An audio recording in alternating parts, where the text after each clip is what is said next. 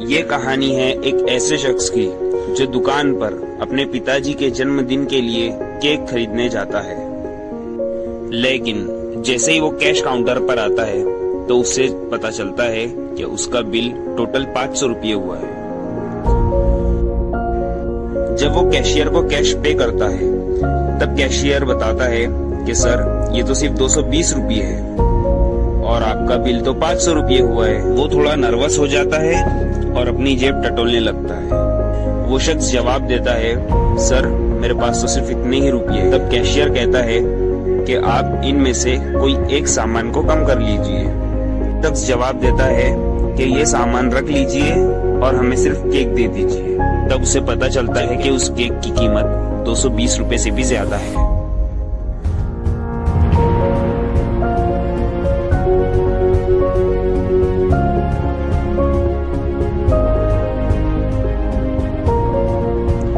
फिर वो शख्स कहता है कि ठीक है, केक रख लीजिए और बाकी का सामान दे दीजिए। ठीक उसी के बाजू में खड़ा हुआ उसका बेटा। कहता है कि पापा जी, आज दादाजी का जन्मदिन है। केक लेना बहुत ज़रूरी है। अगर नहीं लिए तो वो नाराज़ हो जाएँगे। बाप अपने बेटे की बात को नजरअंदाज करते हुए चुपचाप वही सामान लेकर दुकान से बाहर निकल जाता है।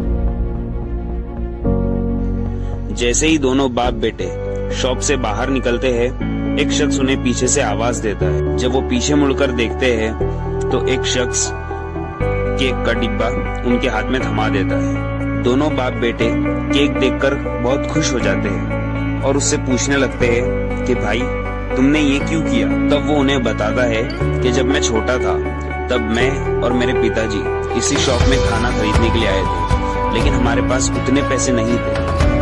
उस वक्त शख्स ने हमारी मदद की थी और उसने मुझे ये लेटर दिया और कहा कि आगे जाकर तुम भी किसी की मदद करना और उसे ये लेटर फॉरवर्ड कर देना। उसकी इसी बात ने मेरी ज़िंदगी बदल दी और आज मैं उसी की कही हुई बात को फॉलो कर रहा हूँ। ये सुन के दोनों बाप बेटे बहुत खुश हुए। उसका शुक्रिया अदा किया और वहाँ से चल दिए।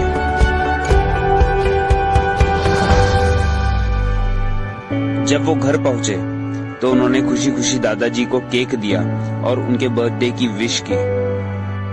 केक देखकर केक देखकर दादाजी ने कहा कि बेटा, इतना महँगा केक कैसे लिया? तब बेटे ने एक सांस में पूरी के पूरी दास्ता बाप को सुना दी और बाप के हाथ में वो लेटर दिया जो उस इंसान ने उसे दिया था। जैसे ही बाप ने वो लेटर देखा, उसे उसके पुराने दिन याद आ गए। कि वो खुद वही शख्स था जिसने उस गरीब लड़के की मदद की थी। उसे बहुत खुशी हुई कि जो काम उसने कई बरसों पहले किसी और के लिए किया था, आज उसी का बदला उसे मिला है। तो दोस्तों, इस कहानी से हमें यही सबक मिलता है कि अगर आज हम किसी की मदद करें तो एक ना एक दिन ऊपर वाला हमें उसका फल